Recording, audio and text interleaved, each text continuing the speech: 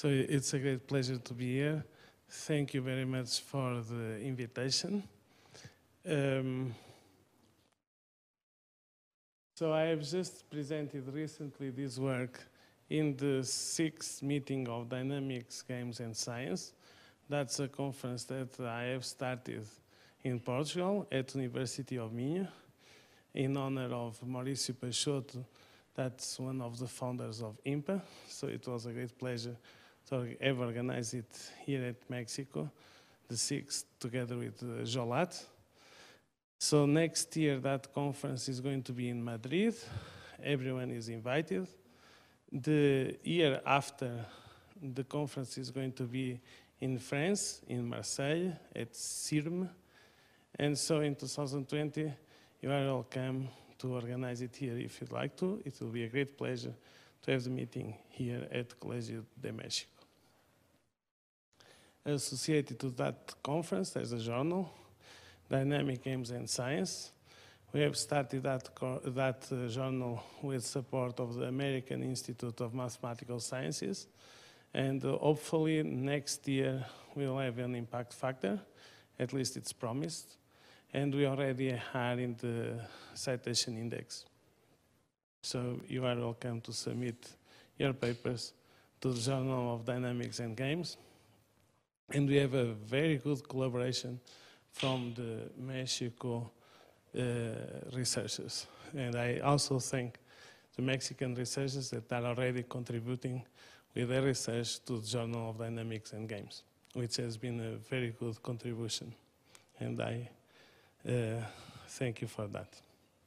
So this is a, a, joint work with some of my former students. Um, it's, uh, it's the Hotelling model, and we have extended to, from the line to a network. So I will discuss the Hotelling model in the line. That's known to the majority of the audience. And then I will briefly explain the extension because the way I will explain it in the line makes it sort of easy to understand the extension. So I apologize by repeating what maybe you know for a long time, but way I'll do it, it's a way that you sort, it's uh, like the explanation how I extend it to the network. so that's the reason I'm, I'll present it like that.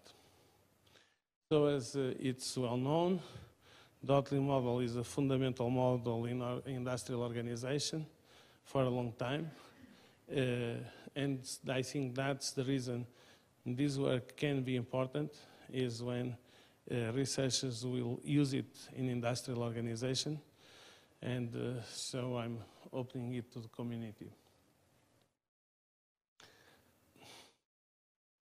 So as you know, Hotelling in 1929 created this model um, that what it has that, uh, that it's original is the differentiation of the product. And this differentiation of product allows us to get pure strategies in prices. If we don't have this differentiation, then we get in this uh, um, um, uh, Bertrand paradox and so to avoid it, this differentiation allows the mathematics uh, to work. And also it makes a lot of sense from economical point of view because different people don't look in the same way to the same product. I prefer Coca-Cola, Philip prefers Pepsi. The products are quite similar, but they are not exactly equal. I prefer pasta made in Portugal, and Italian prefers the pasta made in Italy. And again, the pasta, is it same or is it not same? It's similar, but it's slightly different. I prefer to fly in the Portuguese airline. Philip prefers to fly in Mexican airline. So again, it's more or less the same, but there are, there are small differences, and those small differences are uh, caught in the Hotelling model as the product differentiation. So what I'm going to talk about are products that are similar with small with uh, some differentiation. The examples that I will give will be intuitive, but uh, they, they are not the relevant examples. The relevant examples can be like airlines or uh, Coca-Cola, Pepsi-Cola, or other products like that. So the way I present it is more in a picturesque way that makes it easier for me to understand it. So the Hotelling model consists of a two, I don't have light. Okay. So the Hotelling model consists of um, two, it's a two-stage games. The first stage, the firms, they choose their location, like where they would like to be located uh, in Mexico. And after that, they choose their uh, best price, the optimal price. It's strategic, so it's a competition, so it's a Nash equilibrium um, for the prices and for the location.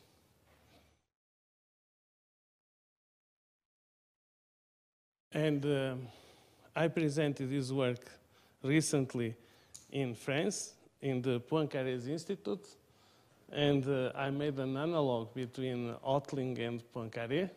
I don't know if they didn't like it much, but uh, I, I, I thought about it when I was giving the presentation. So Hotelling as Poincaré, uh, they didn't do their computations correctly, so they have that in common. Uh, I cannot say if Hotelling is as important or more or less important than Poincaré, but both failed their computations. So somehow to do mistakes can be good for the community, for the scientific community. You should not be afraid of that. Um, so Hotelling found out the principle of minimum differentiation, and 50 years later, I don't know why it took so long, in fact, because it was not so hard to understand that computations were wrong. And they were wrong because they are not valid when the firms are too, too close. So it's, they didn't hold. That's an, uh, that was D'Aspremont that found that mistake. And by changing the, the, the game or by changing the model to quadratic, uh, trans, tra to transportations that are quadratic instead of linear, he found that the best solution, in fact, is maximum differentiation. So the firms to be as far as they can. But it's not for the same model. It moves between linear to quadratic costs. For linear model, the problem kept open, and uh, I think that Shubik, using uh, uh, one of the, the, the first computers, and a very good computer for those times, could invert matrices 17 by 17 at that time. Uh, he could compute that the best uh, strategy in prices, in fact, it's a mixed strategy. And that moves the, the, the, all the discussion to mixed strategies. So for the linear uh, costs, I'm not going into that. So I will not discuss strategies in mixed prices. And since I'm not doing that, I need to have the firms not too close. Because if the firms get too close, I have to get into mixed price strategies. So I have to keep the firms a little bit uh, uh, apart, one firms from each other. Otherwise, my computations do not hold. And one of the things that I did was to find a minimal bound of distance between the firms for computations that I'm going to do to hold. So I'm worried because of D'Aspremont. I'm worried that my computations also get wrong. And for them not to get wrong, I need to know the minimum distance that firms have to be apart for my computations to be uh, correct. So I will have a bound that will assure me that my computations are correct. So I will describe Hotelling model online. There are students in the audience, so I'll do that, even they might know, because that's the ideas that I will use to extend it to a network. So since I have a line, I have two firms A and B.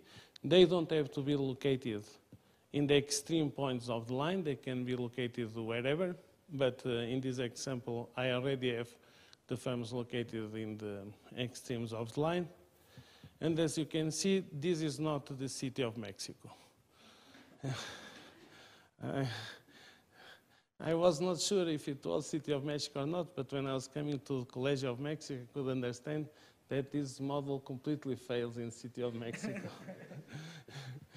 I think even in Porto it fails as well because uh, Porto already has more than uh, 500,000 individuals, so it also fails. For where I live, I live in a small town, uh, 50,000 people, it also fails. So we have to go to the place where David was born, and there it might work. Um, so the, the reason that I'm making these comparisons is because, as you know, you, don't, it, you have more than two shops. And also to believe that all consumers can only choose between two firms is very re restrictive. Nowadays, there are a lot of shops, there are a lot of ways where consumers can go to shop, and that was the extension I did. I extended this model that is in a line for a network. So somehow I extended from a village to uh, Mexico a city. The, this extension still has a restriction. So even for uh, now for the city of Mexico, and it's a restriction. So a model is a model, and for me to be able to solve it, I have to use this restriction. So the restriction is the following. I still have the consumers divided between two firms. So if I'm a consumer, I will have two firms, and between those two firms, or are the ones that I prefer to, to go. But I'm allowed to go to shop to any other firm, but my transportation cost is higher. So I'm not imposing in the model that the consumers will buy, will have to opt between two firms. They can also opt to the other firms, but they don't like so much the other firms because they are more far away. Like they have to cross all um, city of, Mexico. So that's the model that I have. So it's still a simplicity. Uh, I have this Uh, restriction in the extension of model that I'm going to do. And by using that extension, by using that restriction, that's the reason I'm able to do the computations that I'm going to do.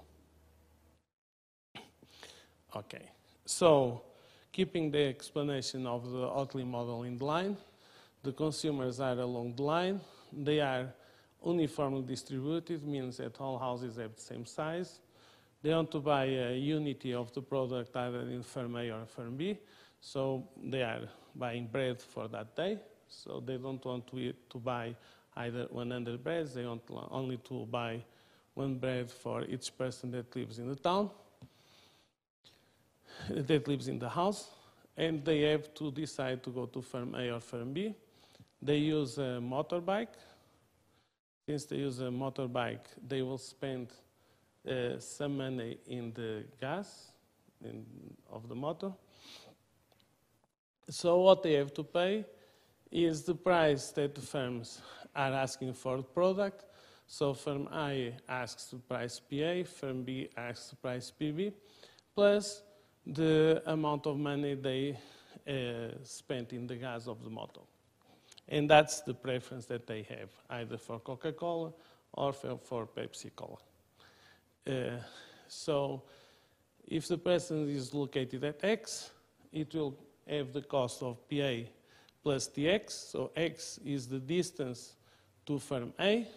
So that's the amount uh, of money that is going to, um, to pay for the gas. Or is the differentiation of product is how much he likes or dislikes the product that firm A is selling. So if it's Portuguese air company or if it's Mexican air company. If he decides to go to shop in firm B, he has to pay the price that firm B is asking, POB, plus, again, the gas that is um, spending, that now it's L minus X, so the distance between X and L, times the, the parameter that is fixed That's the, the transportation cost. So that's the Hotelling model in a line. So to solve it, so I, what I want, I want to do, I have already given the location of firms. One is sitting at zero and the other is at L. So that's given, the first part of the model. So I want to find the optimal prices for the firm. So I want to be able to say which is the price PA that firm A should practice and what is the price PB that firm B should practice to have their maximal profit. Firms like to maximize profits, so that's what we are going to do here. So for that, we have to find out the markets for firm A and markets for firm B, and that's very simple to do. We have to find what is called the indifferent consumer. So, so I have to find the, the, the house that is located at point X, and that, that consumer that will be located in this special point X, it will be indifferent for him to fly with Portuguese Airlines or with the Mexican Airlines. For this consumer to be indifferent, he has to spend same amount of money. So PA plus TX has to be equal to PB plus TL minus X, and when that equality holds, that consumer for him is the same to travel in one air company or in the other air company. And after we found this indifferent consumer, this special X, that's very easy. It's given by that equality, PV minus PA plus TL. L is important. So L is the size of the road, is the, the, the amount of consumers for this product. That's, in, that's this parameter L. So you find this indifferent consumer X. We, we would like that both firms to be in the market. So both firms should have their own market. They should not go to bankruptcy. We are not considering those cases. So we'd like them to be firms in market, so to have a non-empty market share. And for that to hold, we need to have the indifferent consumer located between 0 and L. So for my, my computations to make sense, the important point is that my x to be between 0 and L. If x is between 0 and L, all the computations that I'm doing make sense. If x is not between 0 and L, all my computations are wrong and I have to do a different set of computations. So in this presentation, I want my point X, I want my indifferent consumer to live in that road. If my indifferent consumer is out of the road, I will not say what to do. I'm not studying that case. So I want all the firms to have a non-empty market. So if this X is located in the road, in this case, all consumers that are to the left of my indifferent consumer prefer to shop in firm A because it's cheaper, and all consumers that are to the right of my indifferent consumers will prefer to shop in firm B because it's cheaper for them. So after we find this indifferent consumer, it's trivial to know the market of firm A and the market of firm B. So here is the profit, the profit of the firms are the price minus its cost of production times the market of firm A, that's X, because it's the size of the road between 0 and X, so the market size is X. And I already have the formula for X in terms of prices, it's located there. And for the firm B, the profit is sits on price minus its cost, times its market. And now its market is L minus X, is the distance between the indifferent consumer to the end of the road. That's L minus X, because uh, as an assumption, we have that consumers are uniformly distributed along the road. So now we have two closed formulas in terms of prices, and just by doing the first derivative, we have the solution of the model. So it's trivial. We get the price for firm A, and the price for firm B in terms of the transportation cost, of the size of the market, and of the cost of production.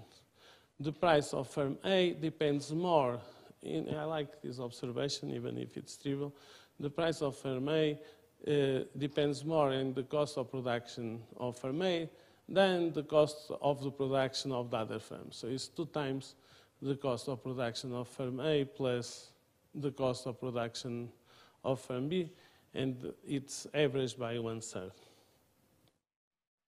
So what I now what I, as I said before, I need to have my indifferent consumer located between zero and L. So now that I have the prices, I have to check that uh, my computations are correct and that my indifferent consumer X is located between 0 and L.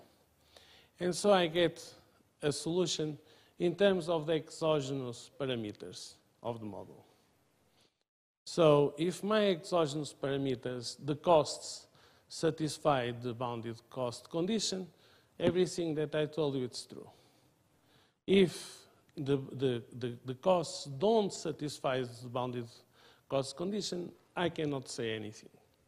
I only can say that my computations are wrong and nothing else. And that will mean that, of course, one of the companies might be in bankruptcy, might because I have to do a different set of computations. like I might have to get into mixed price strategies. So it's not necessarily to say, uh, it's not true if I say, oh, okay, so if my bounded conditions, my bounded cost conditions doesn't hold, then when firm is in bankruptcy, it might not be true. because I might have to find a price strategy that it's a mixed price strategy to solve the problem. So I have not done that. And I don't think it's easy to, to be done. I need to go for, to use a computer to do it.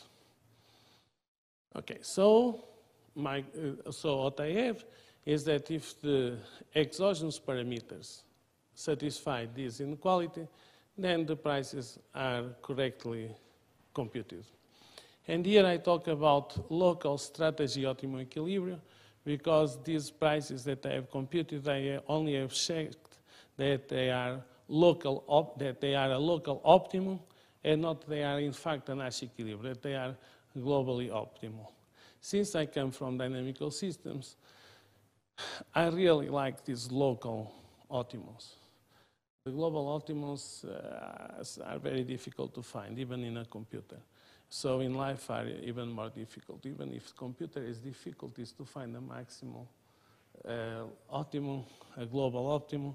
So how can we find them in our lives? Um, but in this uh, talk, I will discuss the local strategic optimum equilibrium, and I also discuss when it is Nash. So I can say, guarantee that it's local, and I can also guarantee when it's Nash. To guarantee that it's Nash, I have to use another bound in the cost of production. The bound has to be stricter than this one that I have, and it will be slightly different, uh, the bound as I will show you later. so this completes my discussion of the Hotelling model. And so what I did was only to extend this very simple computation uh, to the Hotelling town.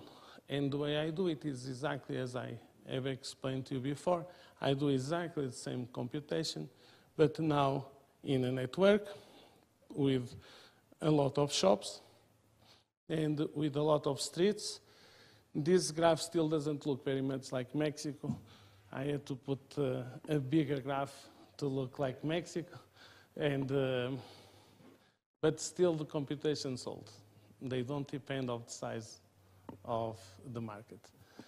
They will depend of this, the, the, the maximum degree of network. And that's like a very interesting observation. In this case, I think is the node 2 that has the higher degree. So this higher degree that is 2, 3, 4 is 7. So the degree of node 2 is 7. So this number 7 will appear in my computation later.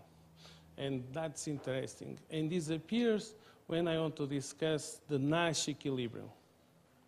When I'm discussing only the local optimum prices, I don't care about this number 7. So this the, the maximum degree, the, the node with maximum degree that appears in network, that degree is important if I want to say that I have a Nash equilibrium.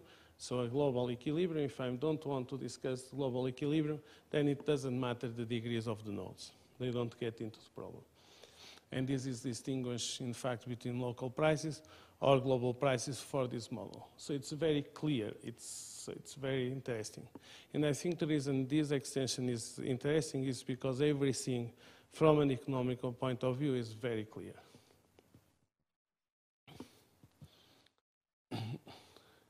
so there are some other researchers that have, that have done uh, very important models, extensions of Hotelling. The most famous, I believe, is the Salop model that extended it from a line to a circle. So I think it's most famous after Hotelling, and there are several other ones that did it all that get included in our formulation because our formulation is uh, quite general.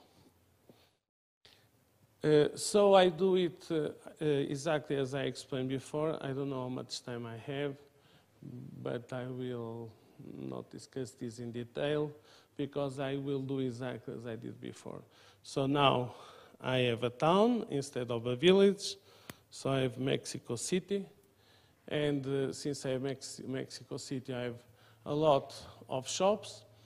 The restriction that I have is that they are living al along there. They, they move along streets, so uh, one consumer that is between firm one and two will prefer to go shopping one and two. Uh, the cost, the transportation cost, it will be smaller uh, for him it will be smaller if he goes to shop to firm 1 or 2, but he can to go to shop in firm 10. I allow him to go to other, firm, to other firm, so the price of the other firm matters, but he has a slightly higher transportation cost. so the way to solve the problem is exactly the same as before. I will pass all this because I have already explained it. So let me move on. This is all the notation. Here I'm introducing all notation that I need. It's too boring even for me, so let me jump. So I, I'll do it exactly as I did before. So I, in every road, I find my different consumer, and each firm has to choose the same price for all the individuals. So the firm cannot have different prices for different lines. So if uh, uh, the Portuguese airline says the price of the ticket and cannot differentiate it between different consumers. In this case, if I'm Portuguese or if I'm Mexican, I'm going to pay the same for the price. And if I go to buy bread to a shop, the shop will not differentiate the clients. So I don't have that differentiation of clients here. We can always put it, but it's not considered, and in this case, that's not what I want to discuss. So the way I solve the problem is exactly as I did before. I have to find in each road my different consumer, and by finding my different consumer, I have the market sizes, and having the market sizes and their firms, they maximize their price, so I, took, I take the first derivatives, and by doing that, I get the solution, and after I have the solution, I will discuss the bounds. Uh, so here is the solution, and the, solution, as I said before, I find it uh, very interesting because the economic interpretation is clear, is looking to the formula, and uh, all static analysis is done. Like the formula is, uh, is clear about the impact of the economic quantities. So let me discuss what appears in the formula. So the price vector is a vector, is the vector of optimal prices for all the firms in the market, firm 1, 2, 3, 4, 5, 6. And let's forget the matrix, that 1 minus 1, make, 1 half of k is a matrix, it's the inverse of that matrix, so let's forget it for a moment. Let's look to the other two vectors that come into the equality. So is the cost of production, so that's clear. The price of firm 1, 2, 3, 4, 5 will depend on the cost of production of firm 1, 2, 3, 4, 5. L is the vector of the admissible full market sizes. So that vector L is defined here. So the coordinate Li of vector L, so Li is the market size of firm Fi, is the sum of all the lengths of the roads that come out from the node at i, where firm i is located, and we divide it by 1 over ki, so the degree of the node. So it's the average size road. So Li is, in fact, the average size road, averaged by ki. Again, it, it, has, it is interesting. What the firm is uh, worried about is the average size of the roads that are coming from its node. That's what is important for its computation. So I already have explained the vector C. I have explained the vector L. So now where is the network getting in place? Where is the city of Mexico getting in place? And that's very easy to answer by that is the, in the matrix K. So K is neighboring market structure.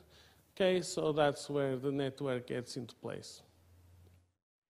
So if I don't have a road between firms I and J, I say that K is zero. And if I have a road between I and J, then the value of Ki is the inverse of the node of degree, Ki minus 1. So again, the matrix K has a clear interpretation. That's where all the information of network is contained. And the price is given by this infinite sum. Since I have 2 to the power minus m, it means that when m increases, it doesn't count much to determine the prices of the firms. So I can find this price locally. So a firm that is located in some node to find its own price is to look first to the firms that are close to it, after that to the firms that are slightly apart. So we can see like distance one, the firms that just by going through one road you find these firms, and if you use a second road, firms at distance two, if you use a third road, firms at uh, distance three, and so on. So the firm has to know the costs of only the firms that are nearby.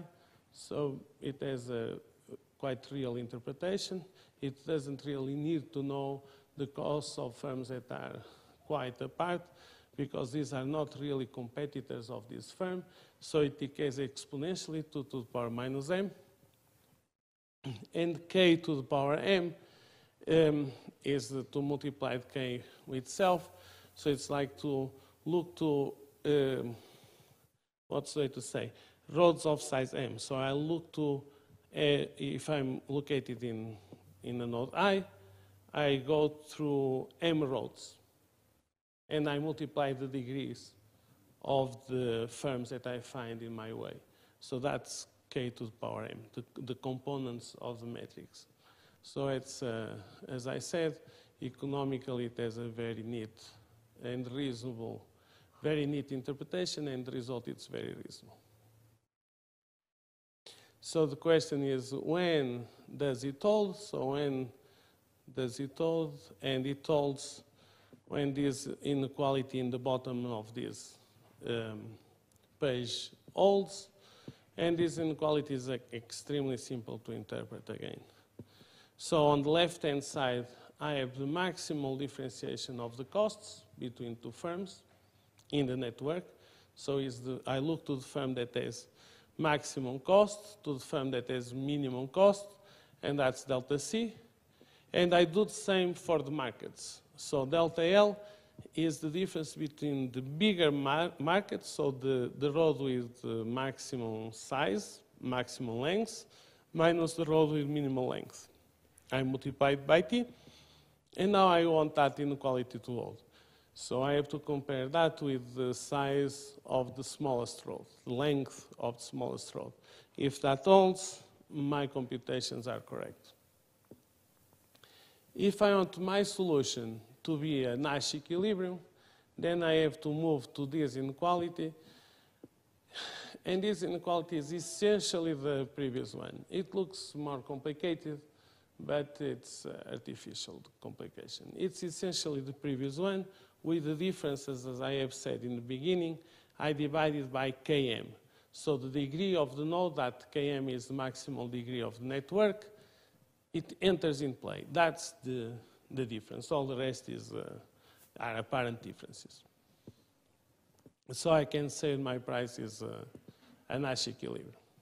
So now that I have discussed second subgame, fortunately, I'm also able to discuss the first subgame, and here not as a Nash problem, but as only local. I don't have the result globally for location, maybe because I'm a bit lazy. I think if I work a little bit more, or if my former, well, the guilt is of my former students. They should have worked more.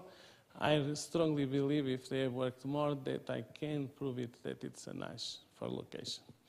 Uh, I have to use some tricks. And I should definitely do that, but I haven't done it already for a couple of years. Uh, so I have a discussion for locations. That's discussion for locations as uh, local optimums. And uh, what we found is the following. Let me show it in the, in the network instead of showing it here. So what we found is the following. The firm 16, this, the firm 16 is in the end of the road, that's unstable, as in the Hotelling model. So no firm wants to be in an exit road. So 16 would move in the network. now, the firm 15, the firm 15 is in the middle of a road. Is located in the middle because there are only two roads, one road to the right, one road to the left. The firm 15, to be stable, it needs the network to be very symmetric around firm 15. So it means that the firm 15, when looks to the left and to the right, needs to be the same network, same kind of network. If that doesn't hold, then firm 15 is uh, unstable in, in the network. now, all the other towns, so the towns that have more than two competitors, like firm 3, firm 3 has four firms that are direct competitors, then they are stable. So if a firm has more than two competitors, and that is in Mexico City, I think it's sort of compulsory to have more than two competitors, direct competitors. So that means that um, Not be able to, to, to, so means that if I'm selling Coca-Cola 1, there is a guy selling Coca-Cola 2 that's a direct competitor of me, Coca-Cola uh, 3 direct competitor, and Coca-Cola 4. I need at least to have three competitors, and, uh, and by that, uh, it means that I have indifferent, I have consumers linking Eh, the firm of Coca-Cola 1 with Coca-Cola 2, Coca-Cola 1 with Coca-Cola 3, Coca-Cola 1 with Coca-Cola 4, Coca-Cola 1 with Coca-Cola 5. So Mexico Air, Airways, Portuguese Airways, Spanish Airways, Brazilian Airways. And I always have competitors between two. You can even think that are individuals for both countries. Like you'll have Portuguese and Mexicans without knowing if they should fly Portuguese and Mexico. You have Portuguese and Spanish uh, that they don't know if they should fly between Portuguese and Spanish airline, and so on. So that's quite reasonable again. And in that case, we, we got, we get as a result that the best localization is to be at the node of network. So that's done.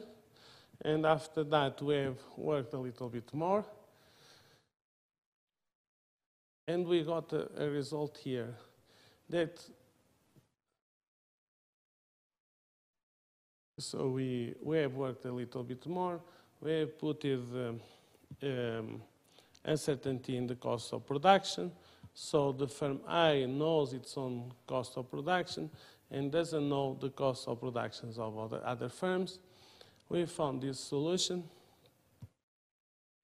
So now that we have uncertainty in the cost of production, and that is again very reasonable to, to put in models, so this model somehow is more realistic than previous one. And uh, this, this theorem already asks for some mathematics. This theorem asks for some mathematics, and the proof is uh, very simple if I say it the way we did it. So we are able to solve first the second equality, the equality in the expected, for the expected prices using expected costs. And that requires for, um, that's non-trivial. But if we look to, to it in the correct way, we are able to find this equality. It's not difficult, but it's not trivial. And after we have this equality for the expected prices, then we can know the price that firms should practice. That's given by the first equality. And the second equality, in fact, is equal to the equality that I have shown to you in the case of, of uh, complete information. So if you, if you replace the costs by the expected costs, you get expected prices, and using the expected prices, you get prices. So um, only the first moment gets in play. I'm enjoying more and more this in, in economics. So a long time, some years ago, I did uh, some computations for financial markets, some kind of simplified computations, and I got like essentially the first and second moment to count. The distribution is known if we know the first and second moment. When you have the, normal, you have central limit theorem, it's also true. If you know the, the, the mean and the variance, you know your distribution if you assume not, uh, the central limit theorem. In what I was doing, I was not assuming central limit theorem. I don't have any theorem to assume. In that case, I was using physics, a model coming from physics, and I only needed to have first moment and uh, the second moment and uh, a third parameter to know the distribution. So this is compatible with economics. If I know the first moments, so economics give me the fundamentals of economics, if they give me the first moment, I know everything. I don't really need to know the distribution. I don't, just tell me the first moment and the economics are here. Uh, the result is explicit. I don't want to know and I did not need to know the distribution. And again, using these equalities, we get same result for the location of the firms. The firms, they prefer again to be located at the nodes. Uh, let me say that I, the way I did this computation for second equality, I have not seen it done for the, I'm not saying that it was not done. I'm saying that up to now, I did not see it for the Cournot model, for the Stackelberg model, and I was playing with Cournot model and Stackelberg model before the Hotelling. So I did it for the Hotelling, and uh, I'm still doing it now for Cournot and Stackelberg, which are much easier, but same uh, reasoning works there. And I cannot say that, as I say, I, I'm surprised if it was not done before. Somehow it should have been done, but I haven't seen it up to now. And so what I'm saying is the way I did computations here, they hold in a much easier way for the Cournot and Stackelberg model. Here it's much harder. And this observation took me two years to do it.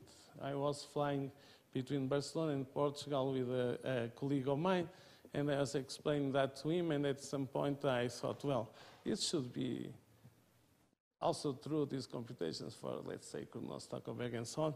And, and the, obviously they, they, they, they are. But as I said, this is a slightly more sophisticated. And that's the end of the talk. Thanks for your patience.